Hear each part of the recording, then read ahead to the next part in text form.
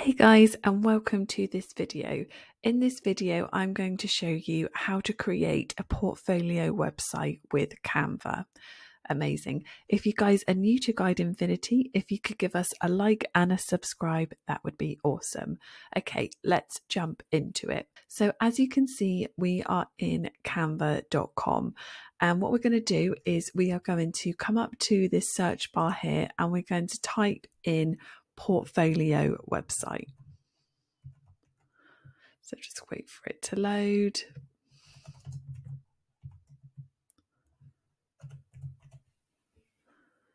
And what we're going to do is we are going to come down and we're going to click on this one here just wait for it to load. Amazing. Okay, so as you can see, it has brought us up lots of amazing different website portfolio templates that we can choose from.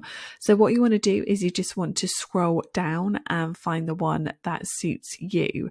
So, if you guys don't have Canva Pro, what you want to do is you want to press this all filters button.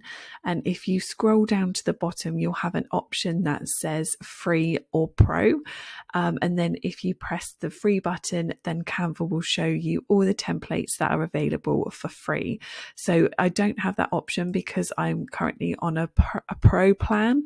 So, um, that doesn't give me that option, but that is where you would find that option. So what I'm going to do is I'm just going to scroll down and then I'm going to pick a template that I like the look of. So I'm going to go for this option here. I think it looks really smart. So what you want to do is you want to give it a click and then you are going to press customize this template. Amazing. Okay. So Canva has now loaded us this template website. As you can see at the bottom, it says page page one of seven. So you know that this template has got seven pages within it.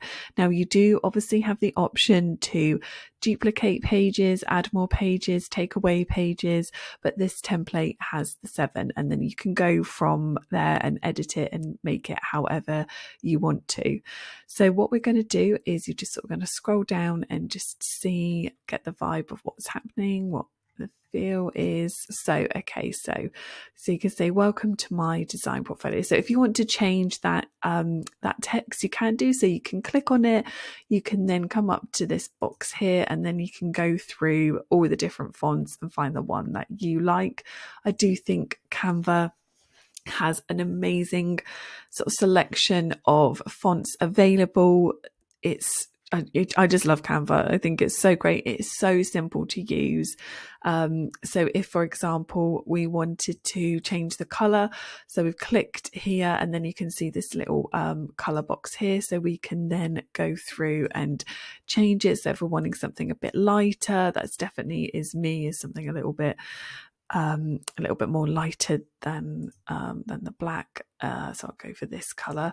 And if we wanted to, um, so obviously this is a picture of Chad. So if we wanted to add a picture of ourselves, if we come over to the left hand side here where it says uploads, and then you could add your own. So I'm going to bring this picture over here. So if you click it and then if you sort of hold it over, it then Canva pops that picture in, which is so simple and so easy to do. So that's amazing. So welcome to my design. So this could be, you could be a photographer, a videographer, a thumbnail designer. So whatever you want to put in. So Chad um. So you can obviously change that to your own name, and then you could say graphic designer, obviously thumbnail designer, videographer, um, and go from that. Then work with me today. So then, as you can then sort of scroll down, who is Chad? So what you do is you would change that to your name, um, and then if you clicked again on this box, then you can change the color. So you might want to do the same, or then you might want to go slightly different. So we might want to go slightly lighter, um, but keeping in the sort of same, um, same sort of tones there which is awesome. If you want to change the text, the color, you can click on it and then you can come up um, here, change it to however you want, uh, move it around. Same with this title as well you can change the photo. So if you want to add some more, so these are some of my pictures. So if you were wanting to obviously showcase your photos within your portfolio, what you can do is you can add some. So what we do, if we upload a load there and then Canva's just loading that amazing. So whilst it's just loading those, we can sort of scroll on down. So got my background. So again, you know, you can change this to however you want. Um, so you've got a page of my art. So this is amazing. This is where you can showcase some of your own designs.